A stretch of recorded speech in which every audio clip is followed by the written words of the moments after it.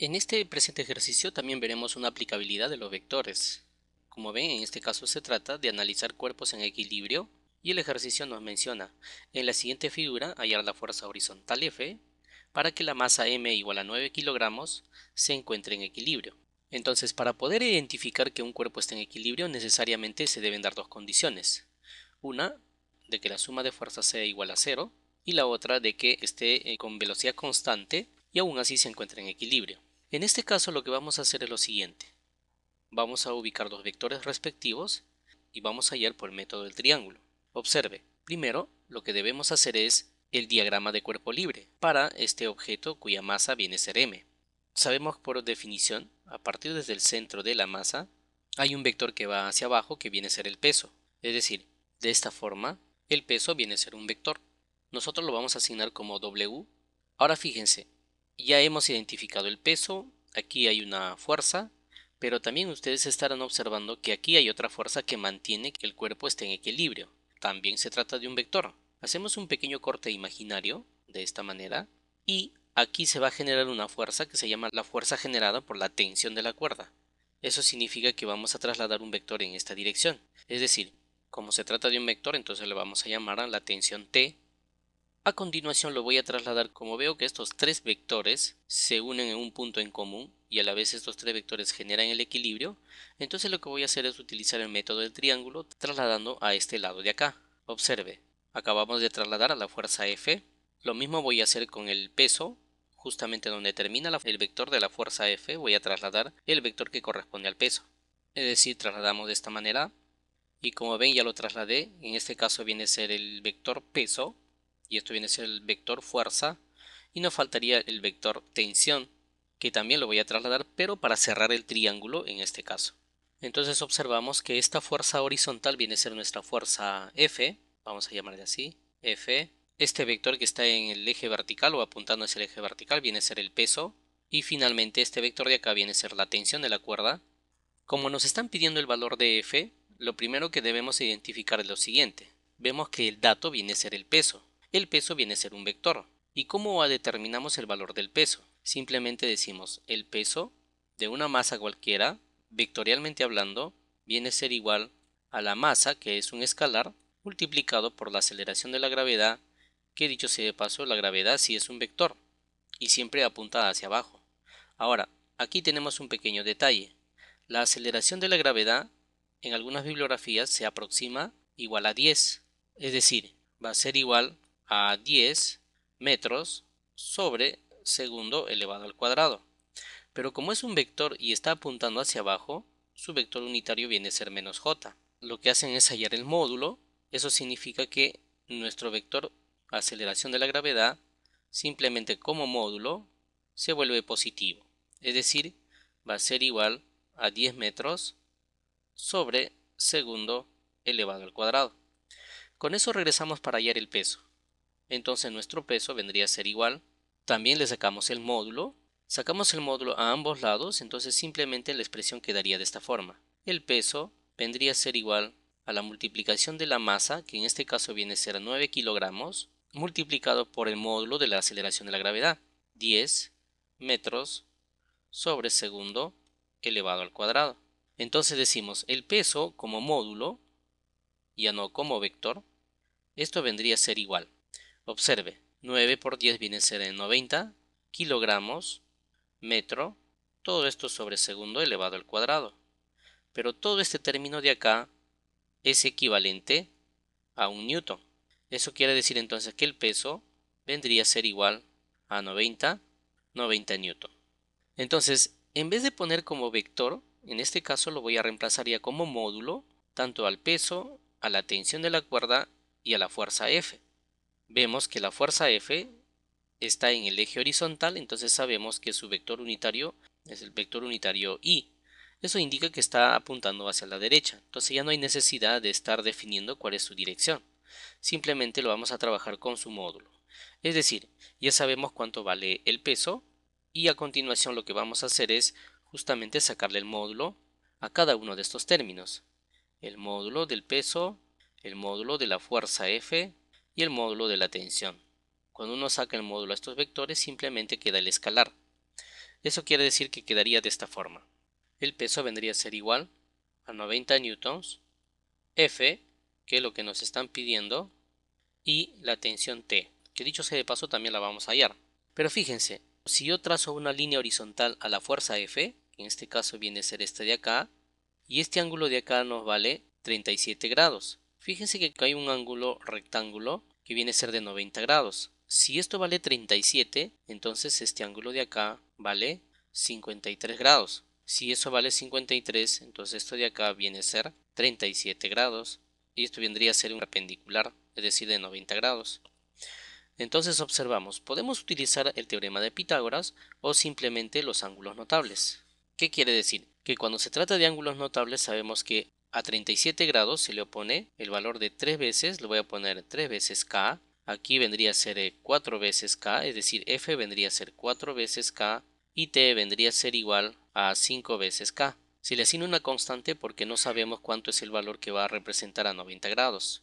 Significa que 3K viene a ser igual al peso. Eso indica de que 3 veces K vendría a ser igual a 90 newtons. Entonces de ahí obtenemos que el valor de K es igual a 90 newtons y pasa a dividir el término 3. Eso es igual a 90 entre 3 viene a ser 30, 30 newtons. Una vez que ya tengo el valor de K puedo regresar para hallar la fuerza F. Entonces decimos, sabemos que la fuerza F es igual a 4 veces el valor de K. Pero K lo acabamos de hallar, vale 30 entonces sería 4 que va a multiplicar a 30 newtons. Finalmente decimos la fuerza F vendría a ser igual a 4 por 3, 12, es decir, 120 newtons. Esto como módulo, pero como vector simplemente está apuntando hacia la derecha en forma horizontal, entonces sería 120 newtons, pero en el eje Y. Eso con respecto al vector F. Pero si gusta también podemos hallar la tensión de manera directa. Entonces la tensión vendría a ser igual a 5 veces el valor de K que acabamos de hallar. No olvide que en este caso el vector T vendría a ser eh, un vector arbitrario, digamos U, que no sabemos exactamente cuál es la dirección. Y eso vendría a ser igual a 5 por K que vale 30 y eso vale 150 newtons en una dirección arbitraria U, pero su módulo simplemente es igual a 150 newtons. Entonces, viendo acá el esquema, vemos que el vector peso más la fuerza F y la tensión de la cuerda, como verán ustedes está cerrando el triángulo, pero no hay ninguna resultante. Entonces la suma de todas estas fuerzas debe dar igual a cero. Y eso es lo que observamos en este triángulo. Observe entonces que la suma del vector peso más el vector fuerza y más el vector tensión, finalmente todo esto debe ser igual a cero. Eso ocurre porque el sistema está en equilibrio. Otra forma de desarrollar este ejercicio está relacionado con el diagrama de cuerpo libre, pero utilizando el eje de coordenadas, que es lo que voy a demostrar a continuación, y el resultado no debe salir lo mismo. Observe, primero vamos a trazar un eje de coordenadas en el eje horizontal X y también en el eje vertical. A continuación lo que voy a hacer es trazar a este eje de coordenadas los vectores correspondientes tal y como están, solamente lo desplazamos, observe, primero al vector fuerza F, de esta manera, hacemos lo mismo con el peso y finalmente trasladamos a la tensión de la cuerda, que justamente está en esta dirección. Como es de costumbre llamamos este eje horizontal a X y este eje de acá le vamos a llamar el eje Y. Bien, sabemos que el eje horizontal corresponde a la fuerza F, el eje vertical corresponde al peso y la tensión de la cuerda viene a ser esta de acá. Fíjense, si yo proyecto a partir de acá en forma horizontal, paralelo a esta línea de acá, si este ángulo vale 37, este ángulo de acá también valdría 37 grados.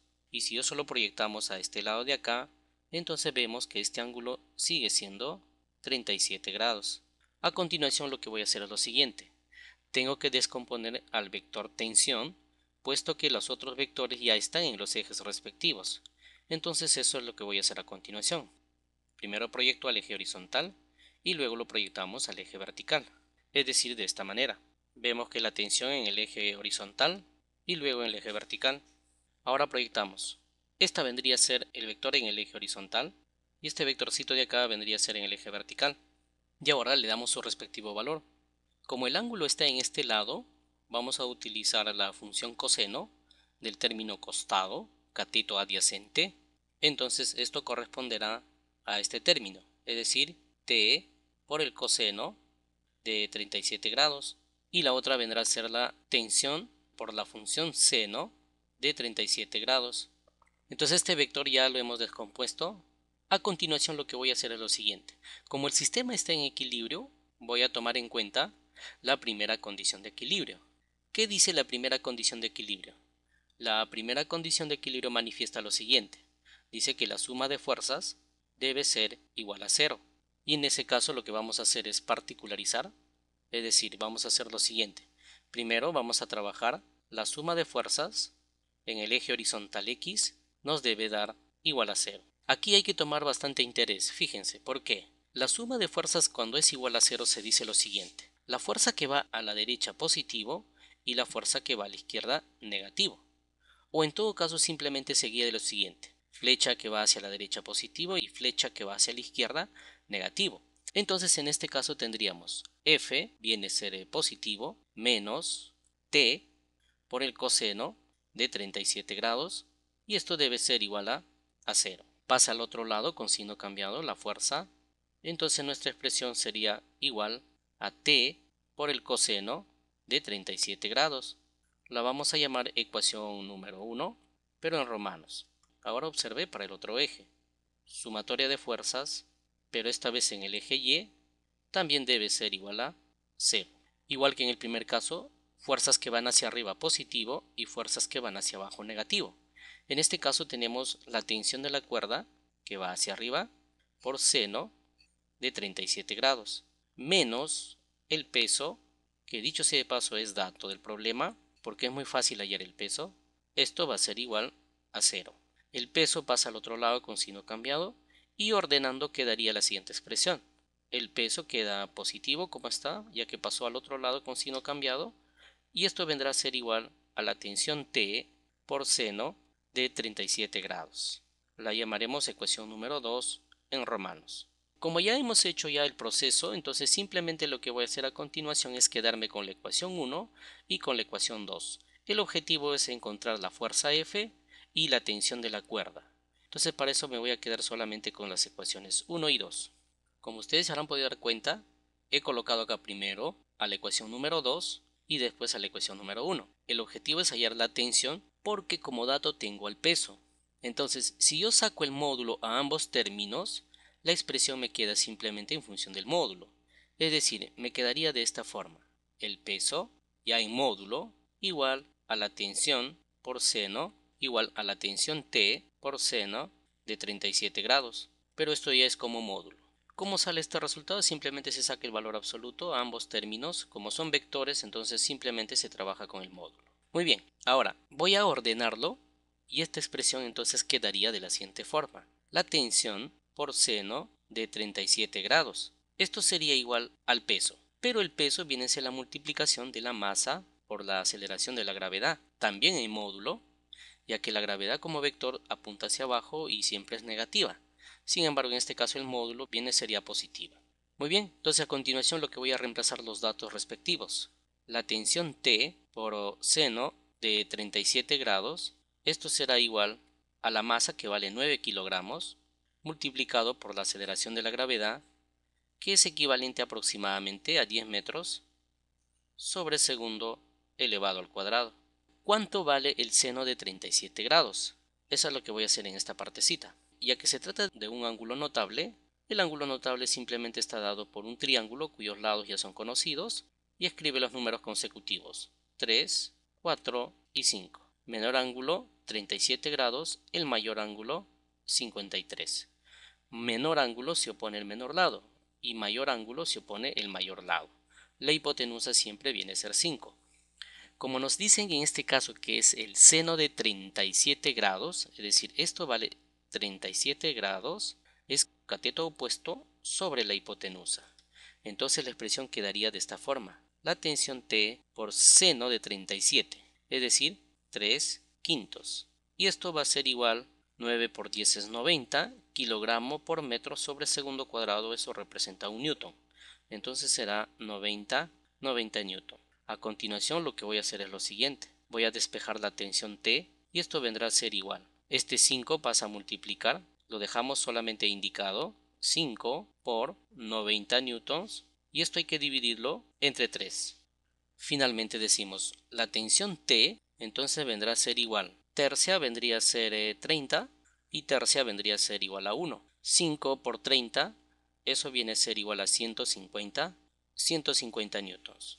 Tenemos la tensión y con esta expresión vamos a ir a la ecuación número 1 y podemos hallar la fuerza F. Al igual que en el primer caso sacamos el módulo y observen lo siguiente. La fuerza F ya en módulo vendrá a ser igual a la tensión T por el coseno de 37 grados. A continuación lo que voy a hacer es simplemente reemplazar y diremos la fuerza F va a ser igual a la tensión, pero la tensión viene a ser 150 newtons, es decir, 150 newtons, multiplicado por el coseno de 37. Hace su triángulo respectivo nuevamente, 3, 4 y 5, menor ángulo, menor lado. Entonces el coseno viene a ser el cateto adyacente sobre la hipotenusa, es decir, 4, 4 quintos. Sacamos quinta, 1, y quinta vendría a ser 30, ya que 150 entre 5 viene a ser a 30.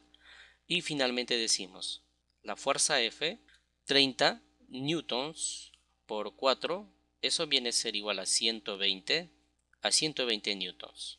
Esta vendría a ser el módulo de la fuerza F. Como verán ustedes, en el otro caso también nos sale el mismo resultado, con la diferencia de que aquí vamos a adicionar algo más. La fuerza F como vector está siendo dirigido hacia el eje horizontal. Observen acá. Entonces esto vendría a ser simplemente 120 newtons, pero acompañado por un vector unitario, en este caso y ya que corresponde al eje o al eje horizontal X. Bien, entonces sería esto la respuesta para este ejercicio.